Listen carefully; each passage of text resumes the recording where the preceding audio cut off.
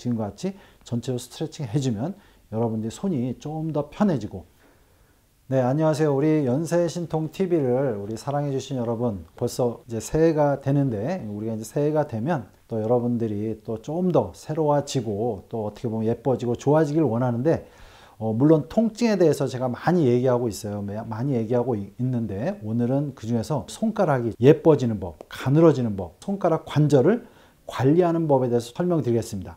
제가 전번에 손가락이 붓고 그럴 때 어떻게 관리하는 부분하고 약간 겹치는 부분이 있는데 손을 많이 쓰는 일, 집안일을 하시거나 또는 이제 요새 스마트폰을 많이 해도 손에 문제가 많이 됩니다. 왜냐하면 모든 관절은 구부려서 오래 쓸 때 문제가 돼요. 그래서 이렇게 스마트폰을 많이 쓰면서도 손에 관절이 무리가 될 수가 있어요. 그래서 이제 이런 부분에 대해서 제가 다 이유를 설명드리고 어떻게 관리할지를 설명드리겠습니다. 먼저 손의 모든 관절은 말단부에 있기 때문에 말단부까지 혈액순환이 잘 돼야 되고 그 다음에 신경이나 이런 모든 기능이 다 좋아져 가지고 이 순환이 되고 뭉치지 않고 풀어진다면 손가락도 잘 유지가 됩니다. 근데 이제 이런 부분이 안 될 때 문제가 되는 거죠.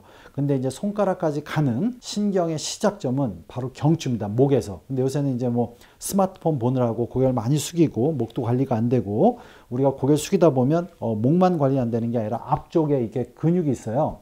우리가 흉쇄유돌근이나 목 앞에 사각근이라는 근육이 있는데 이런 근육이 많이 뭉칩니다. 여러분들 이렇게 많이 뭉치면 그쪽으로 나오는 신경이 포착, 눌려서 2차적으로 순환이 안 됩니다. 그래서 이렇게 안 좋아지기 때문에 그런 부분을 다 풀어야 돼요. 그래서 주택에 문제되는 부분은 5번, 6번, 7번, 그 다음에 뭐 흉추 1, 2번까지 영향을 주는데 요쪽 이 신경이 나오는 부분이 경추에서 나와서 우리가 쇄골 밑을 지나서 어깨 앞쪽을 지나서 쭉 내려갑니다. 그래서 이 먼저 목 쪽을 잘 풀어 주셔야 됩니다. 그래서 언제나 목을 충분히 풀기 위해서 여러분들 목을 좌우로 언제나 풀어 주시고 물론 삥 돌려주셔서 이렇게 풉니다. 근데 이게 풀 때도 여러분에게 풀다 보면 어, 이쪽에서 어느 부위에서 걸릴 때가 있어요. 그러면 그쪽 부위를 조금 더 풀어주시는 게 중요합니다. 그래서 이런 식으로 목을 풀어주고 그 다음에 여러분들이 중요할 게 아까 얘기했듯이 앞쪽에 흉쇄 유돌근과 사각근을 풀어주는 게 손에 되게 중요해요. 그래서 우리가 흉쇄 유돌근을 이렇게 목을 좌우로 돌릴 때 이렇게 도드라지는 근육인데 손으로 이렇게 만져서 풀어주는 게 되게 중요합니다. 양쪽을.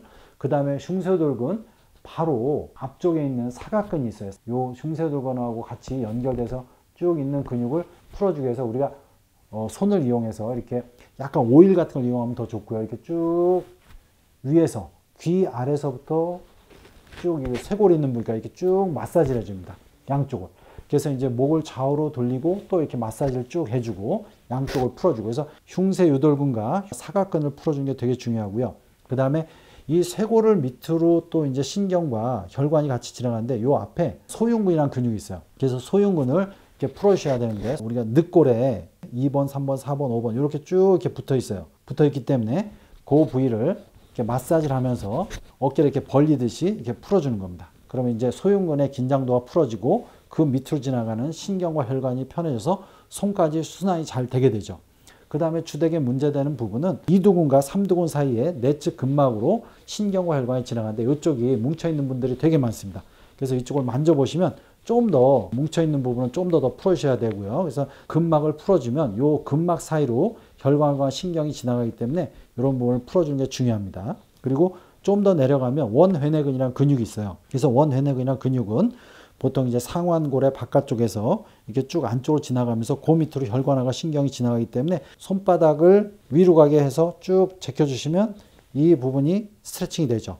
그 다음에 이 부위를 또 근육을 같이 풀어주려면 여러분들이 책상 위에다 손을 대고 반대편을 이용해서 마사지를 해주면 됩니다. 그래서 전완부의 근육을 같이 풀어주는 게 되게 중요합니다. 그렇게 풀어준 다음에 여러분들이 이제 이 지간 근육을 이렇게 풀어주는 게 중요합니다. 그래서 지간 근육을 하나하나 다 풀어주는데 그 중에 가장 아픈 부위를 좀 더 풀어주는 게 중요합니다. 여러분들이 이제 손에 관절에 문제가 오고 좀 부었을 때 여러분들이 주택에 느낄 수 있는 부분은 이 두 손을 깍지켜서 이렇게 만지면 통증이 와요. 또 이렇게 손을 꽉 움켜쥐면 관절이 서로 맞닿을 때 통증이 옵니다. 그래서 이런 부분 관절 자체가 부어 있고 약간의 미세한 염증이 온 겁니다. 그래서 이런 부분은 또 관절 자체를 마사지를 풀어야 됩니다. 그래서 이런 식으로 양쪽 옆에서 만질 때 통증이 많이 오면 옆쪽을 풀어야 되고요. 또 위와 아래를 만졌을 때 통증 을 이렇게 풀어주셔야 됩니다. 여러분이 또 마지막으로 주의할 게 뭐냐면 손을 이용해서 이렇게 뒤로 이렇게 제껴보는 겁니다. 본인 손을 이용해서 뒤로 제껴볼 때 자연스럽게 활처럼 이렇게 쭉 굽어져야 되는데 그 중에 손가락이 안 좋은 상태인 경우는 이렇게 굽어지지가 않아요. 예를 들어서 뭐 세 번째 손가락이 좀 더 뒤로 안 된다 그러면 그 손가락이 좀 더 문제가 있는 거고 또 하나는 뭐냐 한 마디가 이렇게 뒤로 제낄 때 이렇게 꺾여진다면 그 마디가 문제가 있는 겁니다. 그러면 이제 그 마디를 제끼는 스트레칭을 하셔야 됩니다. 뒤로. 미세하게 옆으로 틀었다면 반대쪽으로 틀어지게 이렇게 제껴주시고요. 그래서 이제 손가락을 뒤로 제꼈을 때 잘 뒤로 제껴지지 않는 손가락 전체를 뒤로 좀 더 제껴주고 마디가 좀 더 덜 제껴지면 고기를 좀 더 제껴주고 그래서 손가락 상태를 전체로 다 풀어주셔야 됩니다. 평상시에 이렇게 추운 때 많이 노출되면 안 되기 때문에 가능하면 손을 따뜻하게 해주시고 손이 이렇게 오일이나 약간 로션 같은 걸 이용해서 손에 피부가 건조한 피부가 또 안 좋으면 안쪽에 순환이 안 되기 때문에 피부를 건조하지 않게 하면서 지속적으로 마사지를 같이 해주고 따뜻하게 관리하시면 순환이 되게 하고 지금과 같이 전체로 스트레칭 해주면 여러분들이 손이 좀 더 편해지고 어, 점점 두꺼워진 걸 막을 수 있고 좀 부어 있다면 부은 거를 좀 더 얇게 만들 수 있습니다. 그래서 새해는 여러분들이 아름다운 손을 가지고 생활할 수 있도록 하면 좋겠습니다. 예, 연세신통 TV 여러분 구독 해 주시고요. 여러 영상이 있습니다. 이렇게 참조, 참조해 주시기 바랍니다.